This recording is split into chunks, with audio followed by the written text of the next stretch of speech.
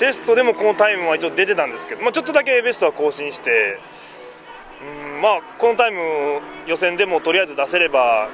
いいんじゃないかなっていうタイムは出たんでまあ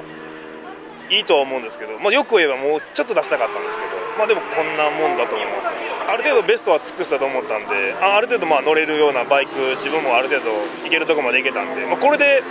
B グループでも負けたら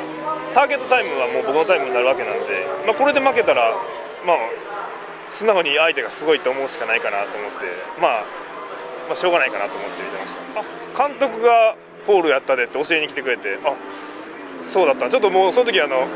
眠たくて寝てちょっと寝ててで監督が教えてくれてあそうですかって感じで。嬉しいのは嬉しいんですけどやっぱ明日結局あの明日か勝たないと意味がないんで、はい。まあ、とりあえず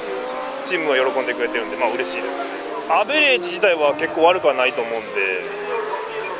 まあとりあえず行けるとこまで行くだけかなって感じですかね。作戦ですか？ガンガン行くだけです。